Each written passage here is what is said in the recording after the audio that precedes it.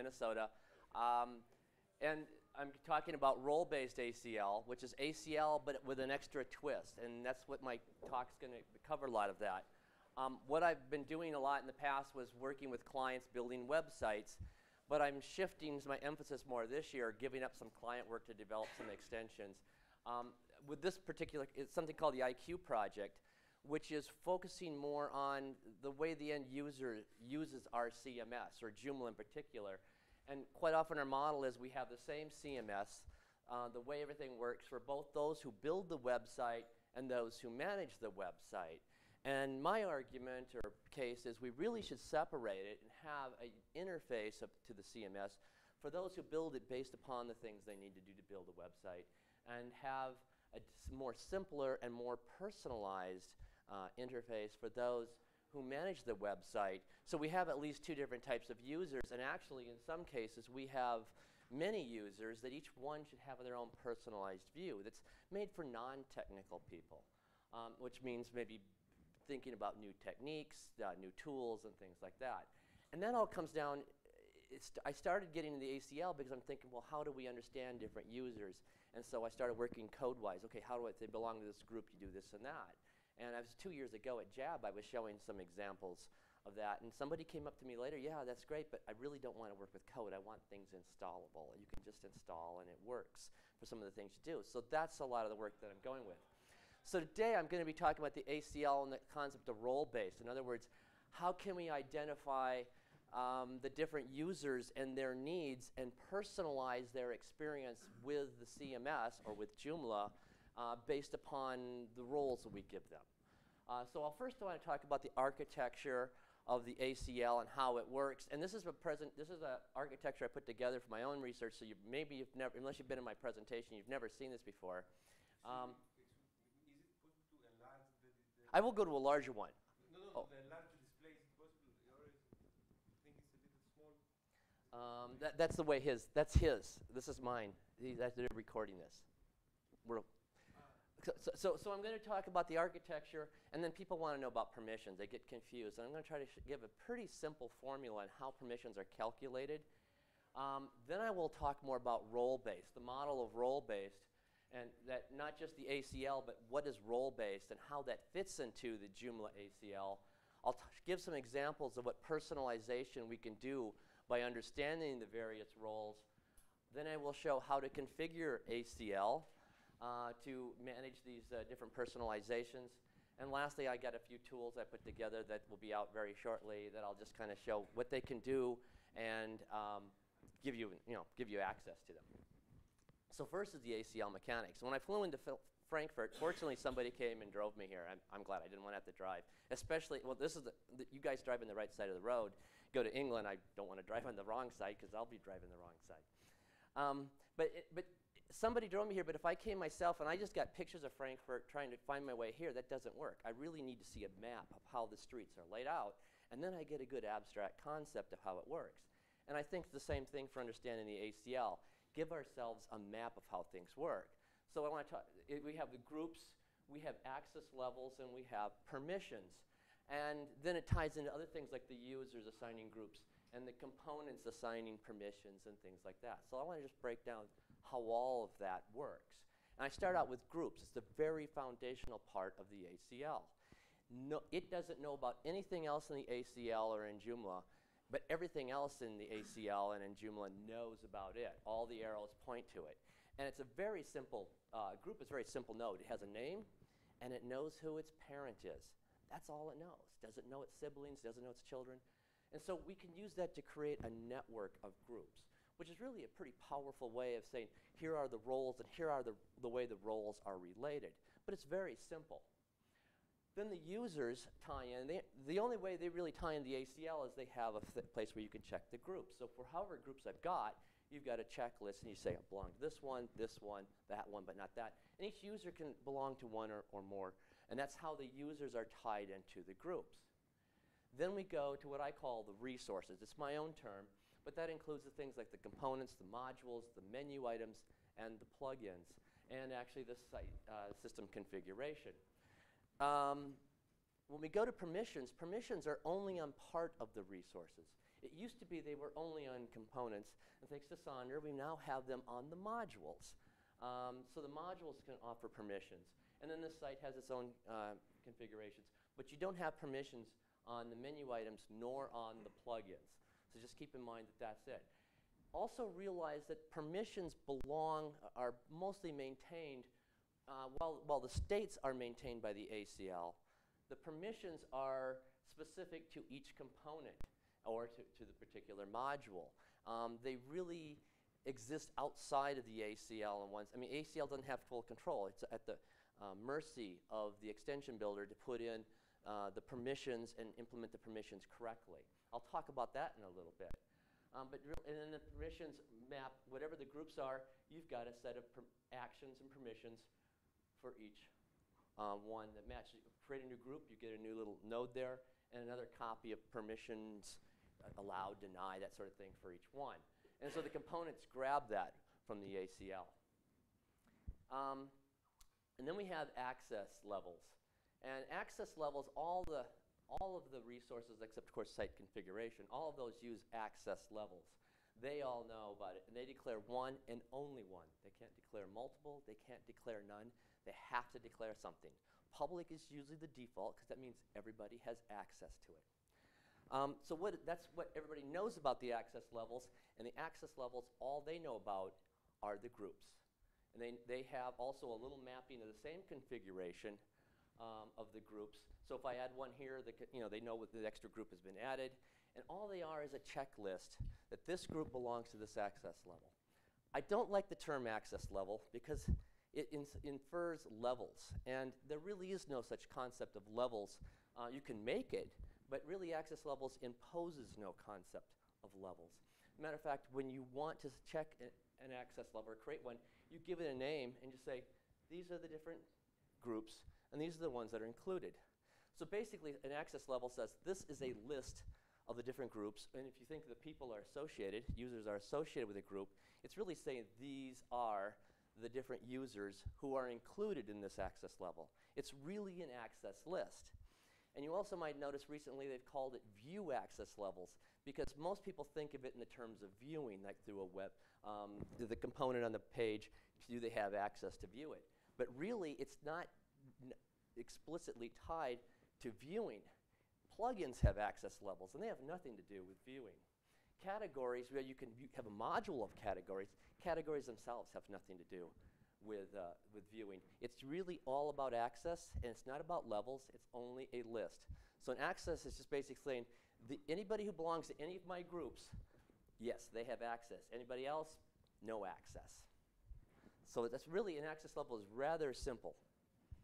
So this is the whole model, and I'm trying to give an idea of the dependencies. Everything starts with a group. Permissions are, are mapping, you know, the component knows what kind of permissions it wants, what kind of actions it wants to give permissions, and it has one for each of the groups, and it gets all that information from the ACL, but it kind of resides outside of the ACL's control. And then access levels. Everything needs to have an access level, whether or not one has access. Okay, the ACL is really a coin with two sides, or multiple sides we think of the ACL a lot in terms of permissions. It also is segmentation or, of users, which we could think of in terms of personalization. And I'll talk about personalization a little bit later, but for now, I want to talk about permissions, because a lot of people get confused of how permissions are set up. Uh, this is obviously the typical uh, permission screen. Um, and I mentioned components will have a mapping of each of the groups, and this set for each one of the groups it particularly has. Now, there's three things um, that a component is responsible for that's outside of ACL cannot impose upon it, uh, on, a, on, a, component, on, on, components or modules sort of things. And the first one is the, um, the type of actions that a component is going to allow. We have the core actions, which is can you configure this component? Do you have access to the administrative interface, like the user manager, um, that sort of thing, the managers, menu managers?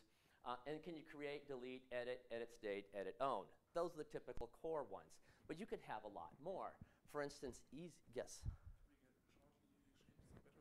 Okay. Was the recording before?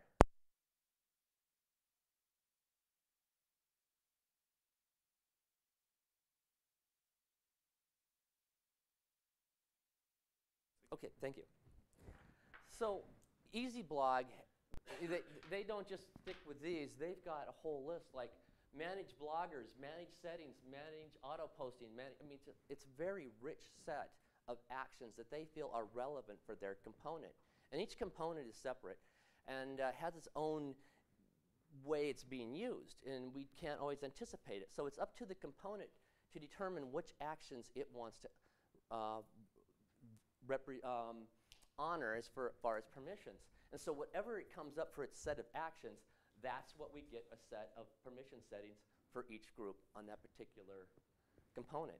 The second thing that the component is responsible for is actually offering permissions, either on the component level or they can be as rich as offering on the category level and on the object level. By object level, like the particular article, a particular contact, a banner, or a particular whatever thing it is that they're saving. And uh, you can't force it from the outside, but we hope that those people who are building extensions build a very rich ACL for their you know, um, experience. So they have not just the components, but if they have categories, they offer category level permissions. You can't impose it, but it's up to them to do it. That's the first. So they, the actions and how many different areas they put in their um, components. And the third thing that's responsibility of the extension developer is whether or not how well they um, implement the results of the permissions.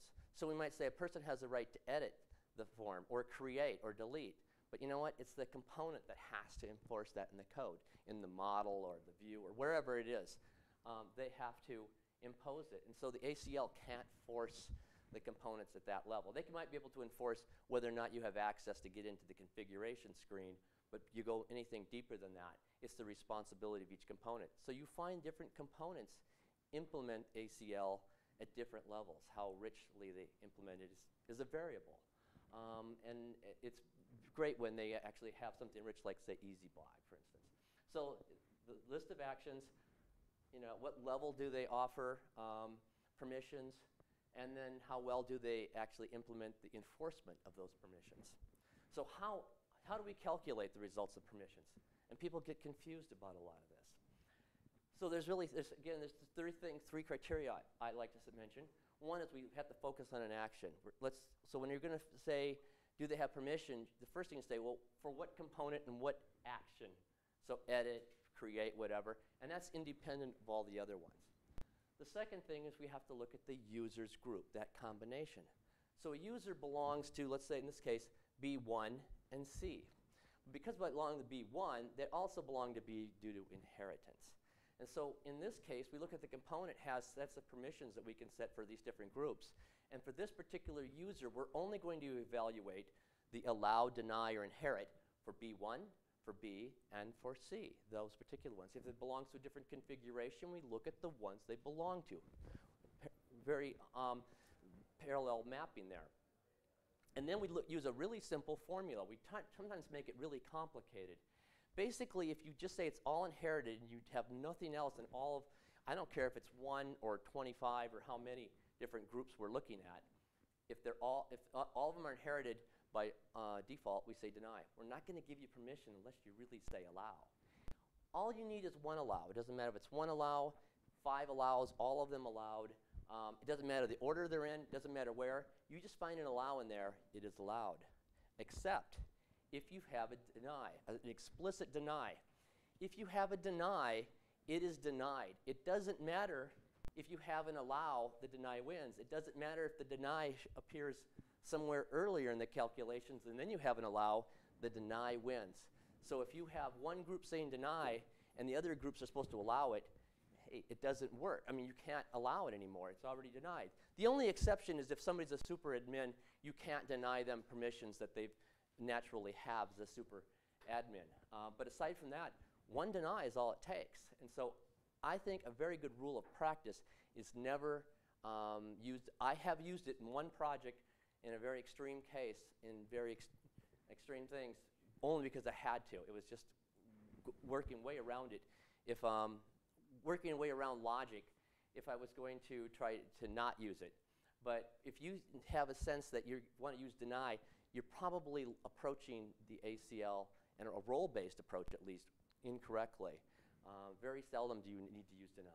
So it's really simple. Nothing declared, deny, yes. I just put, I had to put some, some, some number up. And in this example, I actually had three groups. So we're con- considering the results of this, this, and this. In this case, but I mean, if I'm, I'm going to show in the next screen, I'll, there's actually more of them. And I'm just using three to kind of show it doesn't matter the order, it doesn't, you know, they're just somewhere in there. So it's, it's all deny, deny if nothing set. If we get any, one or more allows, it's allowed, but yet if an explicit deny, it's denied. The third thing we have to look at is say, well, if they do offer more than just a component or extension level um, sorts of permissions, they have categories and objects, how do we do it? Do we figure this and calculate? We can boil it down to the exact same thing. They belong to this, this, these three groups, and these three groups, and these three groups. We could have nine different values across here. And we look, and anywhere there is a, a hard deny, it's denied. But if there's no denies, and we find at least one allowed, only one, I don't care if it's more, but one, we know it's allowed. If we have no settings at all, it's denied. That's a very simple thing to do, and I think we make it much more complicated than we need to. So we think about the groups the user belongs to for that particular action. We look, if it's a component only, we only have one set of groups. If it's got categories, we got to consider the category level. If it's an object, we consider it the object level. And that's how it's calculated. Uh, let me show a different picture to kind of give you an idea how it works. Maybe, you know, look kind of looking at it from a different angle. This is a component representing it. Um, this will be a category, each of these categories, and these are the objects. It could be articles within a category within the article manager, com content. And if, if everything is set to inherit, nothing in here can be accessed by that particular user. A different user maybe, but not by this user. If I add a new category, can't use it because by, it's, it's allowed. I mean, it's, it's, it's inherited, and there is anything new groups that's going to, there's nothing in there that would make it allowed unless you explicitly say allowed. And um, if I add a new uh, item in any of these things, they're also denied. But. You're giving permissions on a group or a user? Uh, it's, it, it turns out for a user, but you give permissions on the group. You never give it on the user. And that actually, I will show when we talk to role-based, the, the beauty of all that is how easy you can change users to different groups or roles. And- Users can join multiple groups. Exactly. And so the whole ACL only looks at groups, and then it's very simple to, to change users between these different groups, and that's the power of role-based, and it mo- models what the industry says role-based should be. But I will, I will talk a little bit more about that in a few slides. In this case, the, the component says allowed, so it doesn't matter, you know, we have any, I create a new category, I don't have to have any settings on that. It's allowed. Any new categories are allowed. Any new objects would be allowed because when you look at it all, they're considering the component first, or it doesn't really matter what order, but the component's always considered, and it's allowed. So let's say we do this. We don't make the component allowed, but we have this one category. If I create a new category, all those objects are not allowed because by default, we're, just, we're not declaring it. We're letting the category level say it. Anything created in here will be allowed because the category says I'm allowed. In this category, we have three items that are allowed. The other items are not. If I create a new item within this category, it will not be allowed unless I explicitly make that item allowed because it's inherited and it's like, well, if you aren't saying anything, we're going to say it's denied. And of course, you add anything here, they'll not, not work. So hopefully this picture gives you an idea. Oops. I must have accidentally deleted. I actually had in here a deny. If you make this category red, anytime I add a new object in there, then that object is going to be denied. And even if I make the, uh, if this say this category was red and denied, and I try to make these green, they would still be denied because there is somewhere in its container, component, category, and item, uh, if there's red anywhere in there, it's uh, denied. Uh, sorry, the, the slide must have gotten deleted accidentally. This is um, the way I model the role-based, and I'm not making, um, let me see if I can go, ahead. I'll get to that later. There was a paper out in the 90, like 95 talking about role-based access control. And it was for all computer systems, even before we had the web as, as, as worldwide as it is now. And they talked about different levels. And they say what we have is these things are roles, and the roles are tightly coupled with permissions. So if you belong, if a user belongs to a role, that user has all the permissions bestowed by that role. Um, and the user can belong to more than one role. And what should be happen, it should be very easy to change a user from one role to another role. Here, you got this role and this role, and the next day I want it, yeah, take that and I'll transfer it to somebody else or I'll remove it. Or you have multiple roles. So this should be very easy to change. This takes more of the developer thinking, you know, what's the rule? If you belong to this role, what should you have to do? So you have more of a technical person doing this work, and you have a regular business person that doesn't have to know anything about access control. Just say, you know, does this person have rights to edit the newsletter or to um, check the product uh, inventory in our store or whatever it is? You give them roles doing that. And the developer should have this set up. It doesn't change often. You've got those rules there. But then who gets to do that? That should change very quickly. If you look at the way the ACL is set up for Joomla, that's really how it works. It's very easy for any user to tick off which particular roles they belong to, as long as we make each of our groups be equivalent to a role. That means a group only has like one concept of um, product management, uh, newsletter management, uh, maybe the publisher of a magazine or whatever. But whatever roles you've got, whatever permissions you want, you make roles for that. Give them very business type naming conventions. So a person here can see the list of the groups, tick them off, and they don't really know what permissions come with them. We, as the site integrators, have to do our work and understand it and put that together. And a very simple business person can just say they belong to this and this. So as long as we make our groups be the equivalent of a role, it's a role-based group, and we now start having a role-based system, very easy for assigning people. In 1.5, we had a system like this. We had you know, the um, front end, anybody could see it, registered author, editor, publisher, uh, public back end, uh, manager, uh, administrator, super admin, and you had three access levels. I just showed a lot of things that we have in 2.5 over um, 1.5, and we have, um, we could do a whole lot more. But, and I, let me see if I, yes, um, we could do an awful lot more with this than we can with that. But yet, when we came out with 2.5, we set up the groups to parallel what we were used to in the past. And so a lot of people think ACL is used the exact same way. I remember being in the forums uh, answering questions. I saw somebody else come in, oh, you should only assign a person to one group, because that's the way we used to have to do it. And that was the frame of mind. We kind of lead people to think that's the way we should do it. But a role-based approach is going to look different. And we haven't always been giving examples and telling people what you can do if you want a role-based approach. And so, and it looks considerably different.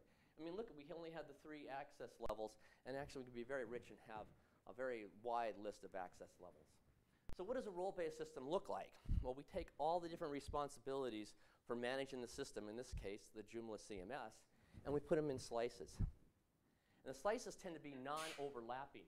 The responsibilities are here, you probably don't have those responsibilities in another slice. So if you want somebody to have the responsibility to edit your product inventory or do um, product fulfillment or manage uh, particular articles on a blog or whatever, each one might want to be its slice. I mean, you can get too extreme and have too many thin slices, and maybe that's appropriate. So there's an art to it to know how refined we uh, slice these things up. But it's a slice, and all the responsibilities that we offer to the, to the end user is in this pie, but we have slices of the pie. So it looks something like this. They're non-overlapping, and they're isolated from each other, typically. Um, and then you can assign a person to more than one role. So we craft out this person has this configuration, another person has a different configuration, and maybe one person has just one slice. Um, you can have two people sharing the same slice or same role. And when we define our roles, we try to look at the way business does its work, all of its actions. This is supposed to be very abstract. Whatever things that business does, um, we think if, if there's a role that business says this person is in charge of updating our newsletter or our post and every Monday morning or whatever. Well, maybe that's a role, and we make a mapping of that action to this, and we give it a nice name that the business people understand. So it's, it's you know, they say, yes, that person should be updating our newsletter or sending out our newsletter. I'm going to tick that and say, click the little box, and that's what they do. And then, of course, each user can, have because we have a role-based thing and it's refined, um, you each, everybody has a different configuration. They might have the same, but they can be considerably different. And um, as you can, again, multiple ones, it's very easy to check, very easy to add people and take them away. So what does it buy us?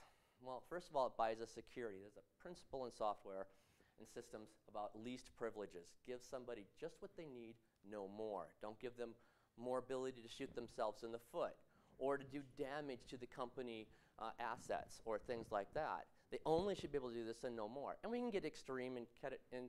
Somebody's on vacation, nobody else can get at this thing. There's a problem there. Um, but it at least helps us reduce the amount of areas people can get into. With the old system, you we're on a totem pole of privileges, and if somebody needed to get at something like this, but they didn't need all the stuff in the middle, well, you had to give them the whole thing. So we can craft out and have better security. The other thing is we can give them better usability because we know what roles they have and responsibilities they have. If we take the extra work, we can actually give them a different user interface. It could be something as simple as the, the super admin has the full access we normally want, and then the, mo- the common the user who typically just updates content only has a few items that they want to click on and do. Uh, and it could be we have several different roles. Each time they have a different role, this looks a little bit differently. It could be very simple, just a one button. It's all they they log in and they just get one button. Do I see a hand? Could- yeah, can I just- So therefore you're advocating a bit more of uh, many different roles Oh yes. at the same level rather than so many nested? Because in essence, the standard Joomla comes with that it's nested and you're just It's nested because we're yes, it's nested because we're maintaining the mental model of 1.5 into 2.5. But with two, I, I dropped some slides for time. But with 2.5, it's very we can do so much more with 2.5. But we're still thinking of the previous mental model. And a role base then goes to a new model. Instead of having this hierarchy, you've got more of a level thing. Yes, Ronnie. Well, it's one dimensional. So I, I find us uh, inventing like organizations and roles independent. And for our users, like in the, the new red shop business to business, uh, for each company we have six roles.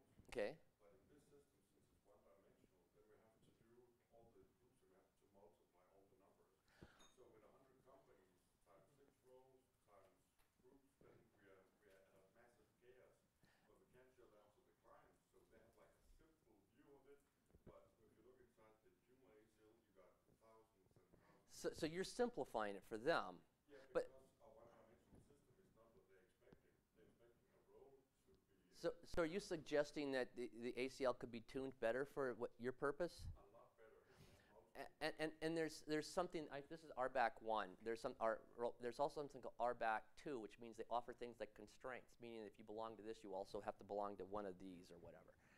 And that's a little more technical. And if we did that, think of how complex. I mean, it's possible somebody could add some more mo- some extensions, make the ACL do things more simply. But I guess the point is, there's enough people struggling with what we've got. So I mean, I understand what you're saying.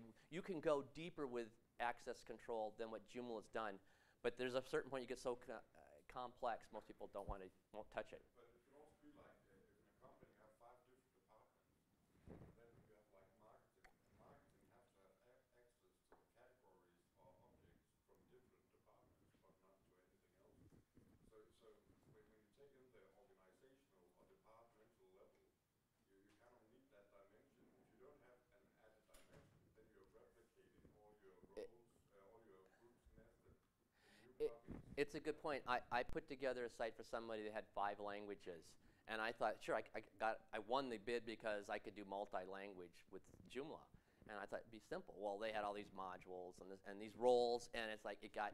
I didn't realize how much it really opened. You mean if I had 10, mo- 10, ro- 10 roles and 30 modules, now I multiply each of those by five, what I have to maintain. So I understand that. And I, I'm not the one developing it in core, but, I'm, but, but it is an issue if you get really complex, and we need to find ways to solve that. But I mean, you don't show the user all those sorts of things, as you said. Okay, look, I'll, I'll move on because I, I am a little bit short on time. Um, okay, so, so roles come and go. In, in the organization, we have a timeline here, and people, new people come in, people leave. We want to remove their privileges. We want to add privileges. They get new assignments. We want to give them more privileges and transfer because somebody else is taking over this thing. Role base is really simple to change. So it buys us the flexibility for staff assignment. It also is ease of comprehension for not business people can say, hey, here's you know, four different people, and what uh, different roles does each one have? Click them off. Now, if we've done our job right as site integrators, um, they will have access to just the parts that they need in the CMS. So setting up a role-based system. Well, let me go back first. Um, role permissions and personalization. I want to talk more about personalization and, and not a- as much about permissions. This is the approach I've been taking and trying to promote a bit more is that when you tick off or click off the um, different roles, for each one, when they go to they log in, they see a different module. Uh, and it, so somebody here who has these different things such as uh, site auditor, they get to see more statistics on the site. Someone here is uh, events manager and testimonials, they only see those two things. So what roles you have, you, you can give them a more personalized view. I developed a site for a county which had 20, well, actually about 15 departments and sub-departments, so I had over 20 different departments. And, um, but it was just the one, one government agency. And for each one, I gave them their own roles. When they log in, for instance, the auditor would see these particular sets of items. And if they went to the home, they have their home page, they have their own pages, they click there, they only see their own pages, they don't see the other department's pages, um, and that sort of thing. So here's an example. They clicked on the pages, and they get, notice that it's already preset to the auditor treasurer department. And if it was the sheriff uh, or the attorney, they'd see only their particular items because I could do that through the uh, ACL. Um, when they go in, they want to add uh, PDF files, for instance. They have their own directory structure for that particular department. That means they only can they can add all they want. They can pollute that directory with all the different PDFs they have. It doesn't affect the other departments. They can't delete another department's sorts of things. They only have access. And the JCE allows us to be able to do that sort of thing based upon a user's group. Here's the uh, sheriffs actually had divisions. They had the probation and the jail uh, guy in charge of the jail, and each had their own little areas, and the sheriff can then see them all. And then the webmaster usually has extra things like calendar of events, um, security, several different things that the uh, departments didn't have. But each time the person logs in, based upon the, their roles, they see something different. And this was in 2.5 using uh, Rocket Theme's Mission Control, which I found to be a rather more uh, simpler uh, template and works really well for people. Um, this is HikaShop for a, uh, somebody hired me to come in and help them with their HikaShop. And this is the way all the fields you get, for instance, uh, by default, but they didn't need them all. So I, this one, I, HikaShop didn't allow me to use the tools, but I got just put a little extra code in their templates. And they say if they belong to the staff group, they're only going to see the fields that's relevant for them. And the advantage here is they see only the fields that they need to do, and they know there are no fields there that are irrelevant for them. Here they have to say, which ones do I pay attention to and don't? That's a lot of extra thinking. And if they only come in here once every other week, they're going to stumble through it. And this is not an easy system to use. But you say, go here, every, every field has meaning to you, and they don't see as many, it's much simpler. Um, sometimes, though, you have to do this by putting a little bit of code, say, in the template to, reduce that. Did I take that? Do you want to picture that? Okay. Um, so setting up roles, how do we do this? Well, well, the first things I do, and this is my own approach, is I create a back-end access because I'm giving people access to the back end. I can do something with the front end, but I'm going to show an example of the back end. And the back end access does nothing but what I just set up the permission saying, uh, I think it's the next screen here, you have the right to add uh, admin login allowed, everything else I leave inherited. I don't know, but I'm not going to give them access except they can log into the back end. So now I have all my role-based groups are going to inherit from back-end access, and I don't have to worry. And if you have belong to one of those roles, you can log into the back end. What you can do depends on the other groups you belong to. Role-based implies a one-to-one relationship with a role. You have one group for each role. In this case, I make it simple, events, newsletter, store. Let's say a store, actually you have three different roles. You have the one maintaining the products, the names, the inventory, that sort of thing. Somebody who's going to maintain the financial, the payments, and somebody who's going to maintain order fulfillment. You might then split this off into three different roles. If you don't, I mean, this is more like component to component to component. In some cases, you might have multiple roles going to the same component. So basically, you figure out what are the actions they have, what do they need to do, and there's a little art to it, and you start learning better as you work with it. But you create roles, and typically, aside from inheriting from back end, once in a while there's a need to go ahead and use inheritance beyond it, but it's usually a very flat. At least my approach is much is rather flat. Um, because if they belong to one role, I really don't want them to belong into other roles that are role based. And then you go to the component itself. Remember, it's the component that manages whether or not you are allowed. You have to go to the components manager. For the events, you go to the event uh, component. For the newsletter, you go to the newsletter. And for the store, you go to the store component. And you set the values accordingly, only for that role-based group. You don't want to touch all the other groups. Just go, if it's events, you go to the event group, set the values that you want. Same thing for each of these. So it's a one-to-one relationship. And because I want to have admin modules that people can see if they belong to a role, I create one-to-one access levels or access list items. So if I have events, I do events there.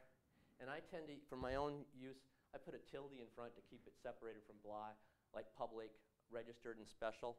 So if I have a tilde in front of it, I know it's a role-based access level. It's just my own naming convention, but I find it works a little bit better. But it's one-to-one relationship there. And so then what you do is you create your admin uh, modules, not just a site module, but an admin module. And if you have the right tool, you can create links in there. Or if you have a menu tool, you could create those as well. But you assign them with the access level. So the events module is to the events access level. The newsletter module with maybe a couple of different links is to the newsletter, and the same with store. And so the only people who see this are those who belong to events because our events access level includes only events, that strong one-to-one relationship. Role-based group, role-based access level. And the admin is, um, especially the dashboard, is set up very similar to the front end. I don't know if people really pay attention to it. So you go to the administrator modules, and you notice it's got positions depending on the template. cpanel, icon, menu, there's even a dashboard one. And the red here represents these. The green represents those, and the blue uh, up in the menu. And this is for mission control, a slide that I used when I was doing 2.5. And you just basically um, get quick icons. Rocket Theme came out with some quick icons. You can, I have another component that I've developed, or a module component, uh, that allows you to create icon things like this. And uh, then you basically create them for that particular role. You assign it the right access level, and it works like I was showing. So you belong to these things. You see these different admin modules, which contain the links only for the things that the person needs to have access to. A very important part of role-based things that we don't talk about a lot, but the, the RBAC paper and discussions talk about it, is making sure uh, you have a good plan and person who's going to do the assignment, who is the user manager. Because the whole thing falls apart if you have a, a user manager who doesn't know what he or she is doing or is untrustworthy. Um, this is the person who's going to make the assignments, and you don't want them to assign people to more privileges than they should have, uh, that sort of thing. One thing that Joomla does lack that I'd like to address sometime when I get the time to code it is um, a way we can have different levels. So a person um, can create a, you can have a user manager who belongs below the main user manager, and they only have certain users that they can manage. They don't see the, all users, and but that also means that when they look at groups, there's only certain groups you can give them, and I can't come up with a formula that fits everybody. So the solution has to be a configuration table saying, I'm going to create this category of sub user manager, and this category this means they they have to they are user manager this if they belong to this group, and they can only manage these other groups, and then have an extended user manager that's going to um, enforce it so that you don't have you only see the users that you have access to, and they can only assign what we say they do. But those are business rules. Imagine like a football team has a coach. They have a league with all these different teams, and each team has their own person who's going to enter their different players on there. Well, that's be a sub user manager. You don't want them talk, messing around with um, some other team's players. And so we want to create a user manager group. Um, that's very important. We don't, you don't think about that, but it's kind of an administrative one. So let me just walk through quickly what you do. You basically create a new group. It's called user manager. It inherits from backend, so of course they can log into the backend. Uh, we create a new access level because I'm going to have some display in front that I want to give access uh, to these links only to the user manager. I just use the tilde but called it user manager. The only group I include is user manager, that one-to-one relationship. And then I go to the user manager and I have to give them permission. So I go to user manager and then I click the options and uh, the permissions tab. Only the user manager group, I leave the other ones alone. And I make allowed whatever they want. I could have a user manager that can only create or can only edit what's been created. They can't delete, but whatever you want. So you can actually have different types of user managers. They're just going to be able to do that for all users. Uh, and then I go ahead and save. And I've created my user manager. And when the user manager logs in, if all they are is a user manager, this is all they see in this particular model. They see the icon, gives them a link, or they have a drop-down menu that gives them access to the user manager. And they can go in and they can change set names, reset passwords. Um, depending on, you know, they can assign people to the groups. They can set their defaults, time zones, editors, things like that, which is what we might, might want. SEO could be the same way. I don't know about you, but when I work with clients, sometimes say, we have a guy who does SEO. He wants to get in. I'm not going to give him the keys to everything. I'll craft a SEO role and give them only the th- permissions what they want.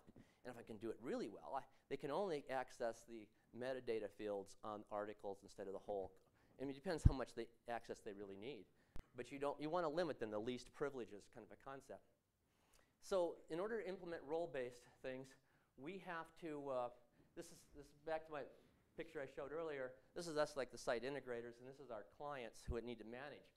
We want to give them a great user experience, a tailored, personalized user experience. But it's our responsibility because every user and every company and every web project is different.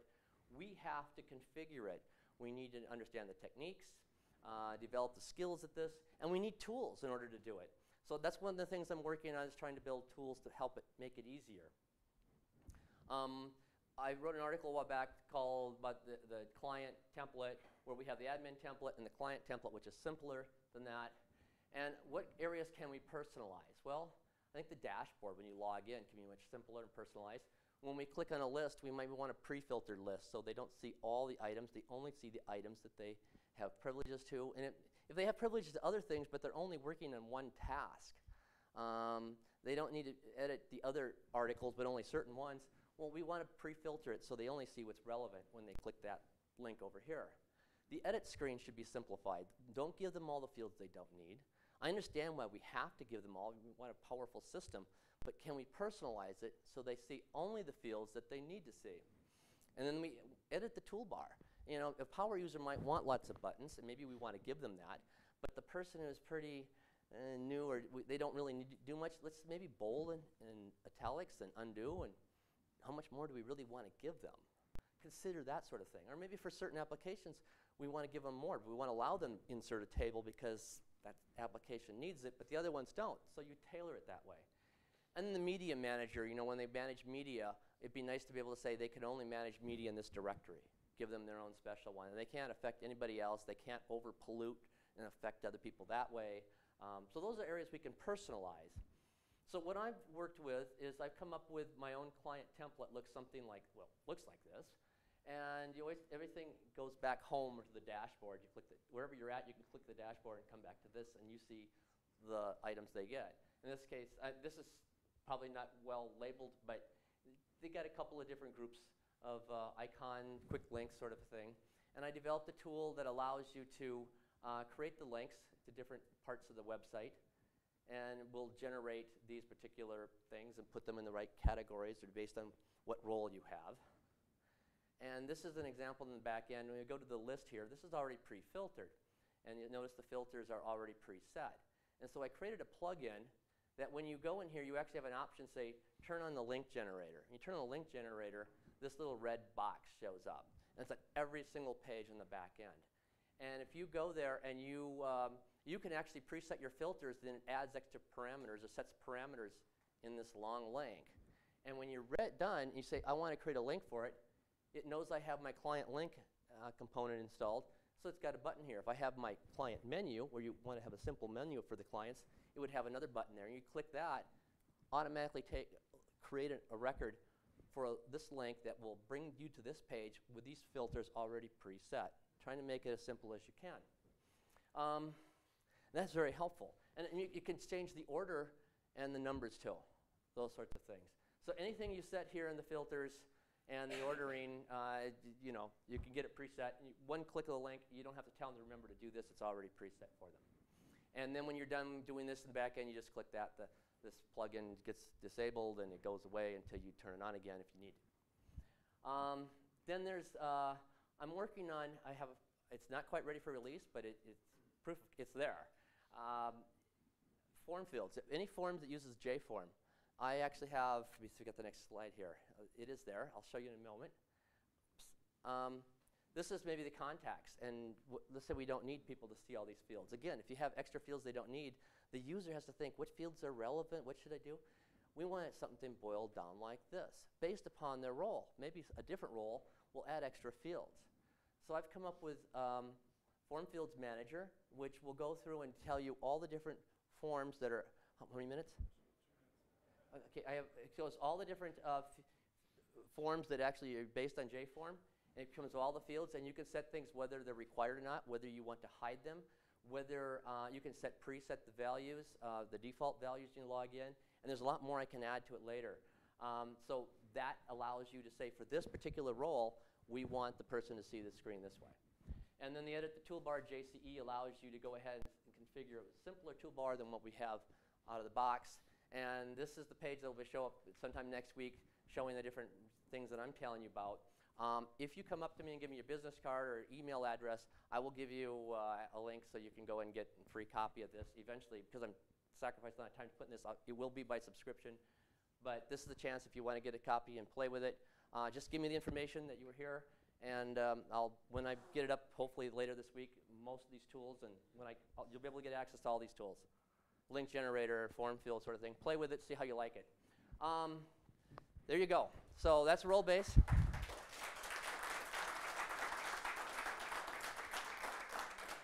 I hope I've inspired you to look at ACL a little differently and uh, consider doing role based. Thank you. Thank you.